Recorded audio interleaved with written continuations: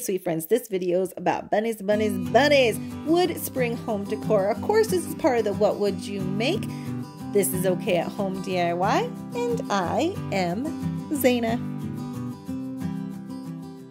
I had this old chair actually picked up from the side of the road, and when I picked it up, I broke it. So I decided I'm going to use the spindles just taking my jigsaw and removing the spindles the best I can. I realized that no matter what I did with my jigsaw, I was not going to get a nice flat line. So these could actually actually be used as like you know, something that balances. So I took them on over to my miter saw and chopped off the ends to give me even surfaces to balance. Next, I came in with my hot glue and a Dollar Tree round. I filled in that little hole back there so when I painted it you wouldn't can tell as well. And I am just hot gluing these spindles to the center. Then I just take my white chalk paint and give that a good coat. Next, I'm going to Mod Podge some napkins. I have a napkin video. I'll link it down in my description box below. Now I'm hooked on napkins. I purchased these napkins at Tuesday mornings, and I love this pattern. So I'm coating my bunny here. This wood bunny is from Dollar Tree. And now I'm just taking my napkin and putting it on top. This is such a beautiful and green and white pattern. I didn't even paint my bunny. I just put this right on top. I think this reminds me of the Sound of Music curtains where she makes the play clothes out of. Anyways, so I go ahead and do that. Make sure all the bubbles are out and the wrinkles are minimal. And then I come back in to get this nice precise cut. I am just using some sandpaper. I did realize though if I cut my sandpaper the shape of the bunny, it was easier to deal with than just go up coming in with the sandpaper. But I got all my angles with this beautiful piece. It's just 120 grit. And then I come back in with this matte Mod Podge. That's the sheen I like. You can use any gloss, that, any sheen you want. But I wanted to make sure I got the edges so everything matched. After that was all dry, I just come in with some more hot glue. And I'm hot gluing my bunnies. I found out that this is better this way, that you just hot glue it laying down and then let it set and cool. And you got these beautiful bunnies.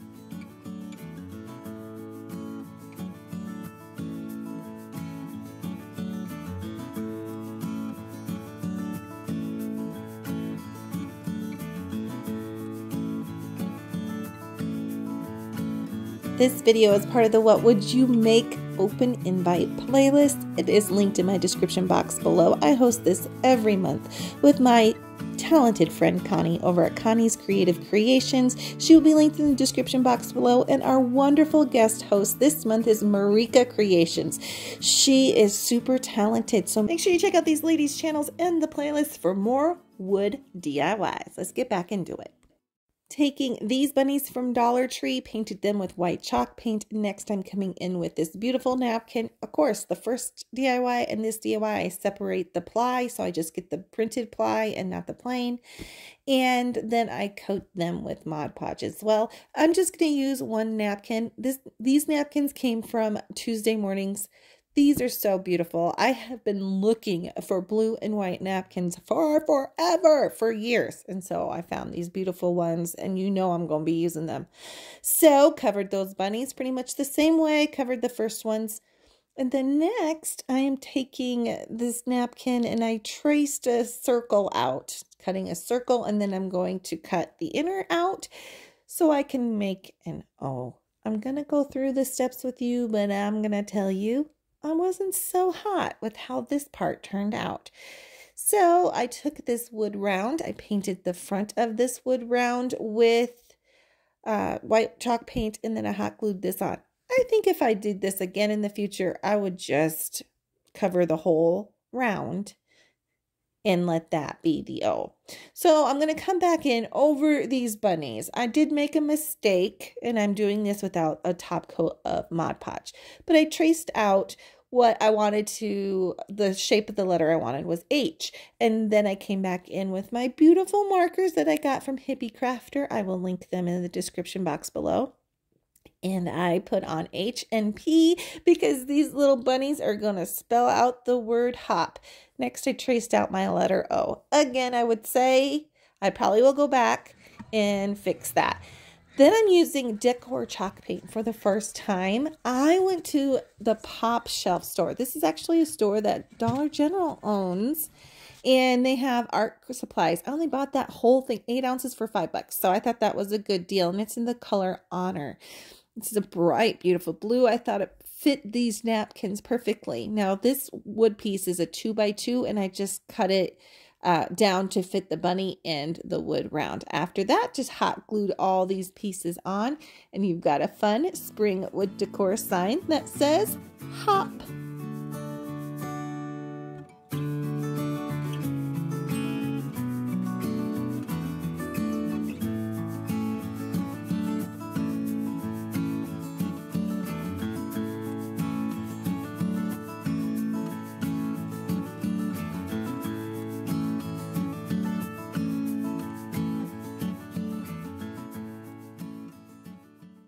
I took inspiration from Antique Farmhouse's Leaping Bunny for this one. So first I'm going to make a stand. I like spindles, so I'm making mine with a spindle. The one Antique Farmhouse had just a straight up and down dowel.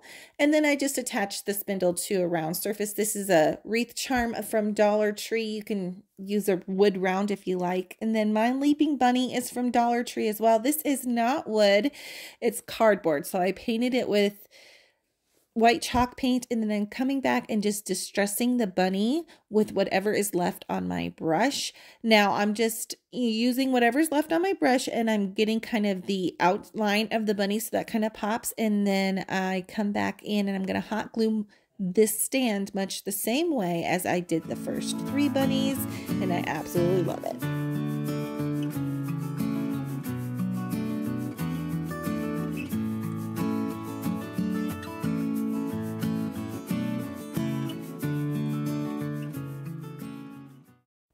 Starting out this wood round door hanger with creating my bunny ears. Now I'm taking an old wire wreath form and I'm bending out some bunny ears. Then I'm taking my wire cutters and I'm bending back and forth and that breaks those ears quickly.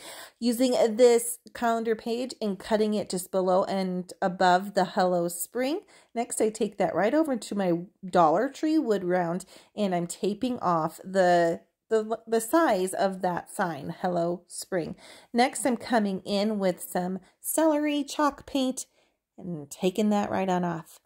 I took taped down my carbon paper with the black side facing down and then my Hello Spring sign, I'm taped taped that down as well.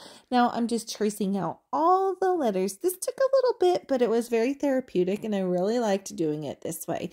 Yes, they could have cut a Cricut thing out, but I I think this is this is neat to do something other than make a sign with a stencil from the Cricut. Although I love my Cricut, it's just another way to do it.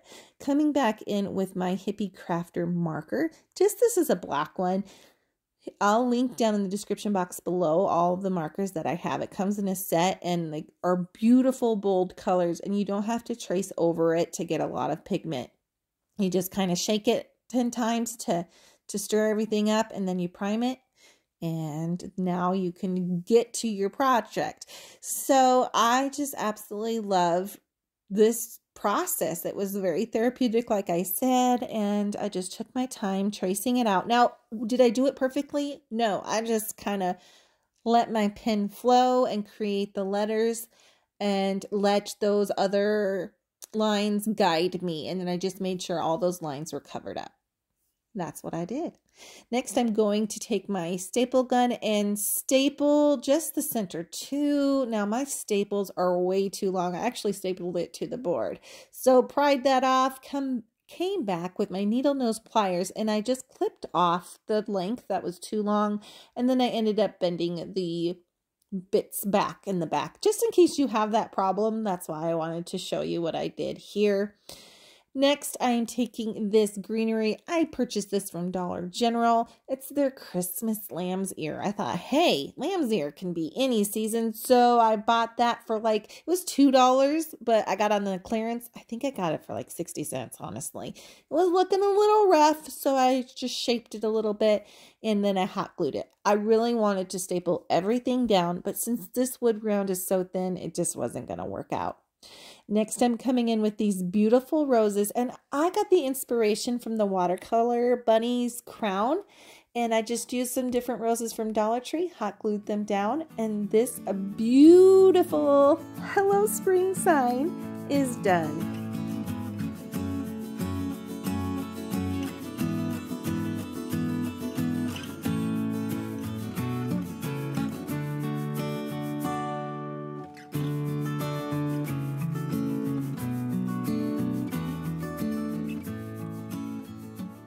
I hope you have liked all this bunny decor spring inspiration. I'm all about bunnies this year. I don't know. Sorry if I bunnied you out, but this, I just love that door hanger. I think the door hanger and those bunnies on the stand with the green are my absolute favorite, but of course, I love them all.